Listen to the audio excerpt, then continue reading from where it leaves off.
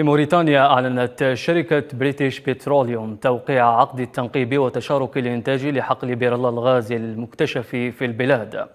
وقالت الشركة إن الحقل يعتبر فرصة نمو في غاية الأهمية للمجموعة البريطانية في موريتانيا ويوفر فرصا مهمة لبناء شراكة طويلة الأمد لدعم التزام الدولة بتنويع الاقتصاد أو الطاقة وخفض الكربون بما في ذلك تطوير موارد الغاز في البلد.